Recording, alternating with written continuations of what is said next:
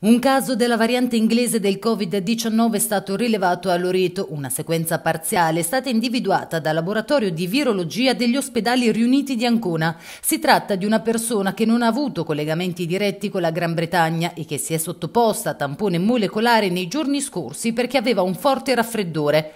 Ora è in isolamento con i due familiari e l'ASUR ha avviato un'indagine epidemiologica per tracciare la mappa del contagio. Intanto oggi si è concluso lo screening di massa nei capoluoghi luoghi di provincia, ad eccezione di Ancona dove proseguiranno anche dal 27 al 29 dicembre. Nelle prime cinque giornate sono state testate oltre 45.000 persone con 221 casi positivi al test antigenico rapido.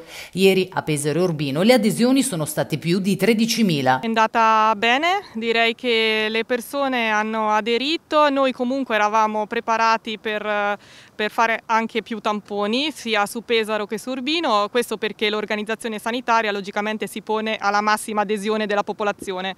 Comunque non mi lamento, non ci lamentiamo, eh, ieri abbiamo avuto un boom e oggi vedo anche dalla fila che probabilmente ripeteremo e aumenteremo. E sono molti, ha detto la dottoressa, i giovani che hanno partecipato all'iniziativa di massa. Oggi alle ore 13, aggiunto Carlotti, direttore del Dipartimento di Prevenzione dell'Area Vasta 1, sono state raggiunte le 2000 presenze con 18 test positivi. Qui i numeri sono ovviamente in aumento rispetto ai cinque giorni precedenti, anche la percentuale dei test positivi è in leggero aumento.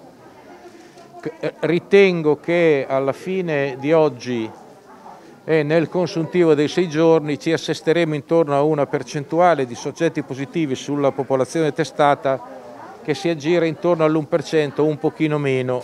Questo significa che circa mille persone nei comuni di Pesaro e Urbino all'incirca, totalmente asintomatiche e totalmente ignare di essere infette, lo sono e quindi costituiscono un pericolo per tutti i loro conviventi, per i contatti lavorativi, per i contatti sociali. Quindi la raccomandazione per tutti è la solita, attenzione, restrizioni, mascherina, distanziamento, e assoluta consapevolezza del momento molto particolare che stiamo vivendo. È stato uno screening incredibile che getta le basi per la campagna di vaccinazione, ha commentato invece il sindaco Matteo Ricci che questa mattina si è sottoposto al test all'Istituto Alberghiero. E avere 13.000 persone prima di Natale tamponate è davvero uno screening eh, incredibile e abbiamo evitato che almeno un centinaio di persone, questi saranno più o meno i positivi alla fine, eh, potessero andare a contagiare inconsapevolmente i propri familiari durante le feste di Natale.